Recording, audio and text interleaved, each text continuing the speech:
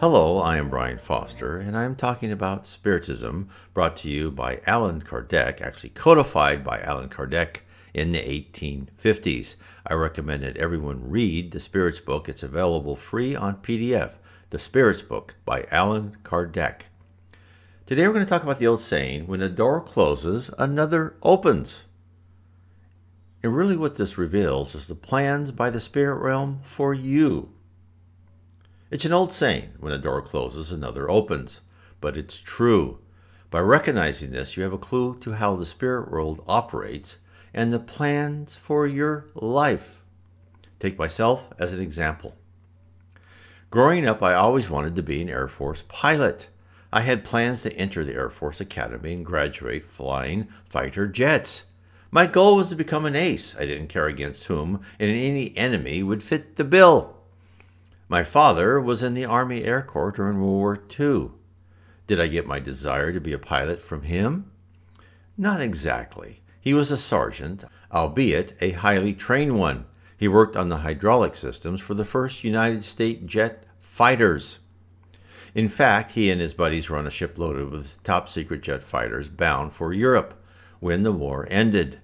My father didn't waste his top secret status, though. Only he and a few of his buddies were allowed to look beneath the tarps covering the jet engines. Taking the opportunity in hand, he hid cigarettes and silk stockings inside the engines. Later, he was able to trade these rare commodities for diamonds, black market diamonds, that his sister used when she got married, much to my mother's everlasting disgust. He did see action, though. When he was dealing with a trader in a partially burned out building in Germany, a competitor took a shot at them. My father ran down the stairs, saw a German policeman, took his rifle, and ran after the culprit. He never got a good look at who tried to kill him. On my mother's side, her brother was in the army before World War II. He didn't like it so much, so he decided to travel to Tijuana, Mexico, to recover his inner peace. His sergeant found him and brought him back. So, from that proud tradition of military service, I too wanted to play my part. All was going according to plan until the end of my junior year in high school. I noticed that I wasn't performing sports like I used to.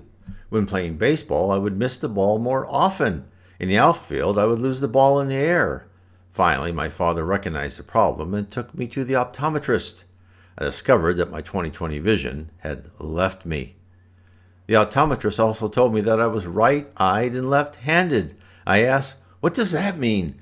And I was told that meant that I was a mixed up kid. He was correct. I was at a crossroads. My career plans were destroyed by my poor eyesight. I thought about becoming an officer in one of the other services. A friend of the family arranged to have a Marine officer come by the house to talk to me. He knocked on the door, and my mother saw him and straight away told him I wasn't interested. I never got the chance to talk to him. I don't remember her ever doing anything like that to me before or afterwards. On her own, she eliminated one of my options. Instead, I decided to major in computer science at the nearest University of California campus at Irvine. My life trajectory took an entirely different path than the one I had envisioned. I thought all of this had occurred by chance. Nothing could have been further from the truth. It was written. I was to follow the blueprint laid for me before my birth. In Galatians, Paul wrote, but even before I was born, God chose me and called me by his marvelous grace. Paul, the apostle, had a blueprint also. I do, and so do you. There is no human born on this world without a plan. There is a reason for this extensive and complex planning. It is twofold. One is for each of us to travel through new required experiences and to pay for our past wrongs. Hopefully, along life's ups and downs, we become better souls.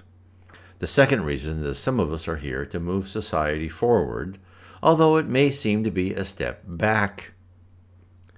The spirit world tells us that progress is accomplished in spirals, not constant forward movement.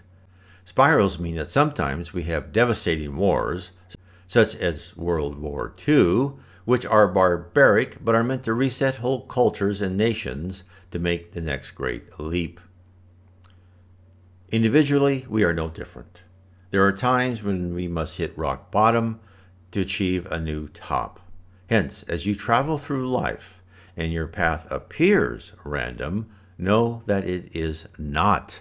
You are following a road that has been paved ahead for you, and that everything, well, almost everything, occurs for a purpose. Take comfort that you are being watched and analyzed. You are being herded to a new plateau. It is up to you to educate yourself from trials and tribulations which befall you. Failure to improve means that a new set of trials will be fashioned for your next life instead of a smoother, more relaxed existence. It is your decision. Learn more about Spiritism and how your life is pre planned. Read my book, The Seven Tenets of Spiritism How They Impact Your Daily Life. God bless.